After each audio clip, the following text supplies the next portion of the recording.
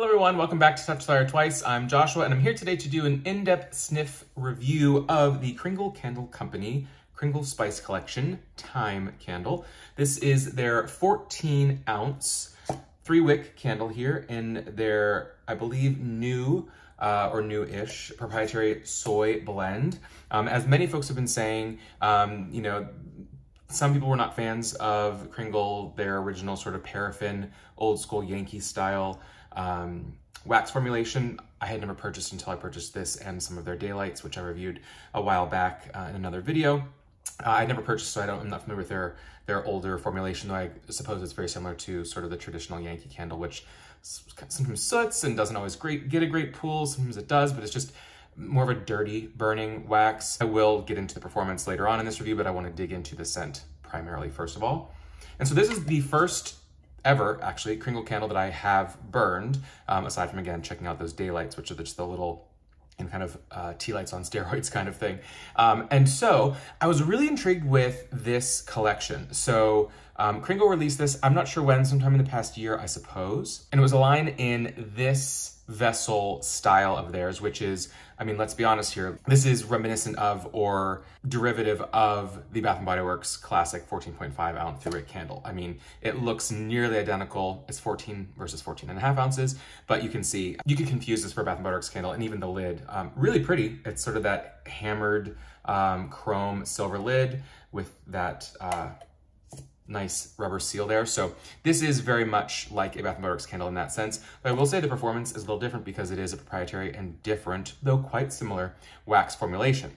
Um, but this collection, Kringle Spice Collection, came out uh, and there were eight fragrances in it. It looks like some of them are sold out, but the candles in this are super interesting to me. Uh, so first I'll say basil, ginger root, thyme, cayenne, oregano, bay leaf, rosemary, and anise, kind of the star anise. Um, why I'm intrigued is I really appreciate, uh, first of all, authentic blends that actually smell like what you, what the name says or what you're hoping that you smell, uh, even though they're synthetic. Uh, and I really enjoy seeing sort of close to single scents. Now, granted, I am, you know, uh, a, a, fragrance head where I want top, middle, bottom notes. I want a scent story. I want, you know, a really classically built scent that has accords and very specific um, notes in it and authentic and and authentic, not inauthentic notes. But at the same time, I think it's very interesting to see single or nearly single notes expressed in wax if it can be something that is botanical or spices like this. So to say, you know, what does, we, there are a million candles that have ginger in it. Um, but if it's supposed to be pure ginger root, what does that smell like in home fragrance or any of these, rosemary, bay leaf, oregano. Sure, you might see a basil candle sometimes, or you see ginger, you know, orange ginger, aromatherapy, or things like that. Rosemary is often in many autumnal scents, but you don't get just straight up rosemary. So that's kind of interesting to me. I only picked up this one because I thought this was kind of almost the, one of the most unique, because thyme is, you don't even see that very often in candle form, um, home fragrance form.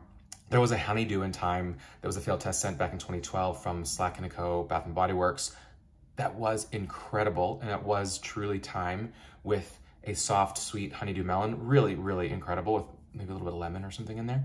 Um, but, so I wanted to give this a shot, see what it was like. I, I cook a ton. I cook with all of these, these herbs and spices and, and plants. And so I just kind of wanted to see what it was like.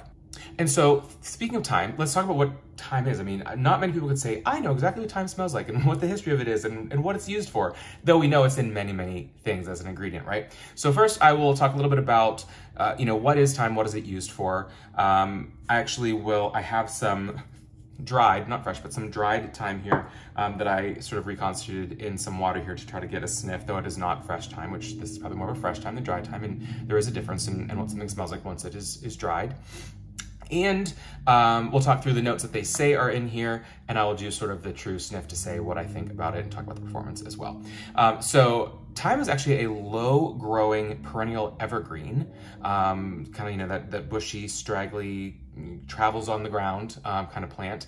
Uh, they say in sort of, you know, historically in medieval times or, you know, in, in the old, ye olden days, uh, it really related to strength, spirit, courage, Um, they would say someone smelled like thyme as a compliment to them. Um, you know, they say that medieval, medieval ladies would give their um, knights a sprig of that herb um, as they would go off to battle um, to really instill those values of, of um, strength, spirit, and courage into them. It was also used very much so uh, to kind of kind of fumigate homes or even clean homes um, because it really has uh, strong antiseptic, antibacterial cleansing qualities to it. Um, and the compound that is derived from thyme for thyme essential oil, uh, thymol, T-H-Y-M-O-L, um, is really one of the strongest antiseptics known, at least in sort of the, the natural um, chemical, because still everything is a chemical compound, right? Um, in a natural form. Um, and interestingly, uh, thymol has been used in drugstore products and brands for years and generations. Gargles, mouthwashes, cough drops, vapor, vapor chest rubs. Um, some of the best known products to contain thymol are Listerine mouthwash, Vicks VapoRub. I'm again thinking of those antimicrobial cleansing, mentholated feeling uh, properties that thymol essential oil brings from the thyme plant. Um, and so that's something to know, you know, doing my research going into sniff this, what to potentially expect. Um, when you think of thyme as, you know, the leaf, whether fresh or dried for cooking, uh, it's known to be herbaceous, strong, penetrating, kind of therapeutic, uh, sweet, peppery, a little minty, a little lemony. Comparing to oregano, which people sometimes, you know, kind of conflate the two, oregano is much more pungent and an earthy, darker flavor uh, versus the peppery, minty, lemony, herbaceous, green, green, green. Sometimes they say if you think of uh, green as a scent, it is thyme, which is kind of an interesting way to think about it. They describe it as a savory scent, pungent and peppery and spicy. That aligns with, with what I what I found as well. Um, and then for top, middle, bottom, it's a little bit light on details here. Top note, thyme, shocker. Mid, pepper and sharp spice. Not a fan of that. Tell me what you mean by spice. This entire collection is spice. Give me details or don't tell me what's in there. Uh, and base is herbaceous. Uh, herbaceous is not a. Is not a base. It's not like a fragrance note, really. It's a fragrance family, perhaps. I suppose you could say that herbaceous is an accord, but again, that kind of feels like a little bit of marketing uh, where there's, if there's just timing here, that's okay. Call it what it is and say that. If there is more, I want to know what you mean by saying spices and herbs. That's not helpful. So either put details in there or don't include top, middle, and base notes is my opinion on that. Anyway, so sniffing this, it is very, I, I would say it does lean to kind of the menthol invigorating, um, strong, kind of therapeutic aromatherapy, um, medicinal angle for sure. So much so that I thought, you know, is there eucalyptus in here? Is there something else? Is there a straight up camphor or menthol in here? No, there's thymol in here, which who knew? I wasn't aware that thymol really is, it's, it's in that kind of menthol family of scents. Certainly, because of the cooling, you can think mint. Um, there's a brightness, which you could think lemony. But let's not be confused. It doesn't smell like there's lemon, peel, zest, juice in this. It's more so that thyme itself has a bit of a lemony edge to it. So just don't don't get those two mixed up. Peppery, hmm. More intense. I, it really, in many ways, on first sniff, and even when I was burning this, um, I, I, it really was coming off as medicinal, which I don't mind, but I think a lot of people, you know, there are people who say that Twisted Peppermint from Bath & Body Works is too pepperminty and they only burn it to clear their sinuses and that it's too medicinal. Okay, well, I, I don't agree with that, but I certainly would say like, then this would not be the candle for them because this is truly more medicinal. They could have called this an aromatherapy collection. Um, when we think of all the people who are into essential oils these days, um, this smells more so like if you were diffusing an essential oil versus, you know, just a home fragrance candle that has this in it, that, ha that has this scent to it. Like this is smells more like you're trying to diffuse it almost for the potential um, you know, therapeutic or healing properties. Um, and I don't know if the other candles in this collection are that extreme toward being like the um, therapeutic scent or just like the cooking scent. Does this basil just smell like fresh basil from your garden? I would assume probably because that's what they seem to be going for is they're not calling this an aromatherapy collection or, you know, something with sort of those healing or therapeutic at least properties, you know? but it's it's nice. It does it does smell. It smells like thyme as as it should. Um, but again, I was a bit surprised by how intensely, again, I'm gonna use the word menthol, though it's thymol, how you know thymolic is that is that the word? Um, it really is uh, in that sense of while it does smell like a fresh bundle of thyme, you know, rubbing it together, uh, you're getting, it really smells more like the, the thymol oil that's within the leaves, which is why you use it.